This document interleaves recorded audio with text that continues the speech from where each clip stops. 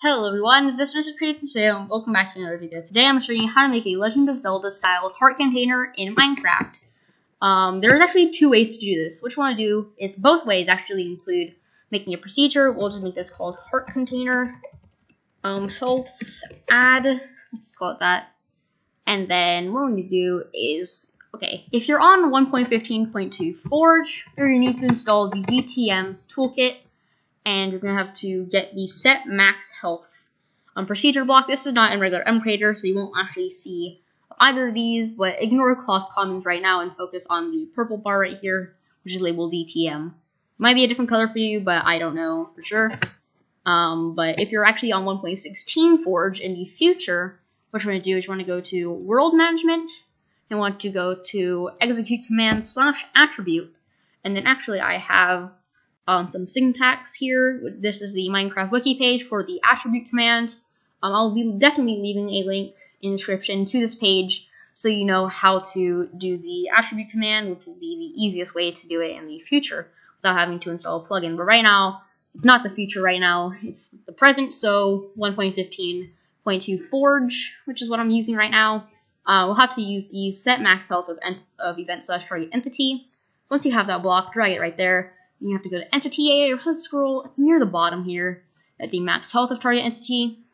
Um, go to the math and grab the block that looks like this with the plus sign.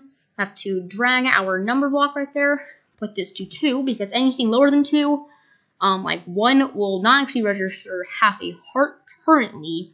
It will um, bug out and it will give you half a heart um, with internal it'll basically store it in its code. So once you get another heart or another half heart, it will give you the full heart. So I recommend you actually give yourself um, two health right here.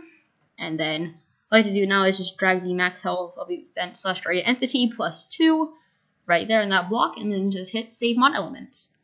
Now we have to create the actual heart container item. So we'll just call this heart container. Go.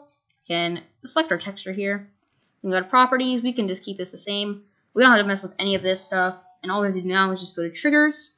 We have to go to when right clicking air and heart container add and hit save mod element. Now if you want to actually make it so that the item disappears and you can't use it like an infinite amount of times, what you need to do is you're going to go to, let's see, player procedures, and then go to remove one blank and select the heart container item, and there we go. Now it works.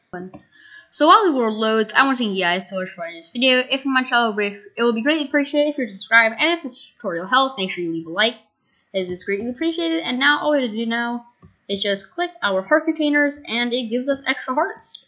We can do slash give at self heart container, just give ourselves maybe like 10 of them. We can increase our health a lot and just spam click it. And you can see there we have our full max health.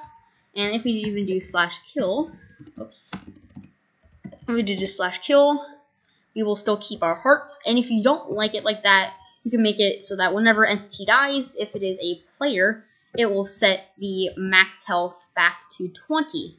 So I'll be showing you how to do that right now. So you have to create a brand new procedure, and you can do this heart health reset.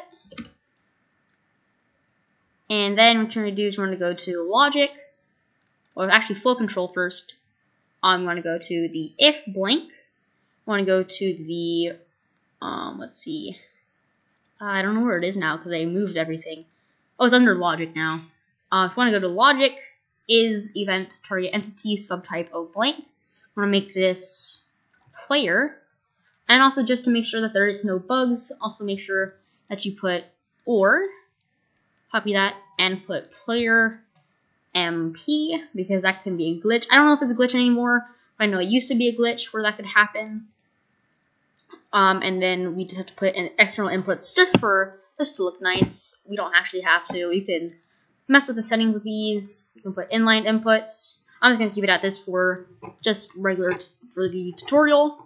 And then all we have to do now is just go to uh, all we have to do is now do set max health party entity 20. And now we have to go to the event trigger up here and let's see, where is it? It's going to be, I think, a player? I think it would be actually entity dies. yeah, I think that would be actually, yeah, entity dies. There we go. And then just save mod element. So now I will test this out in game. So now I am in game, and now it is time to test out this little mechanic. As you can see here, I have a bunch of hearts. And now if I just die, I'm going to do slash kill.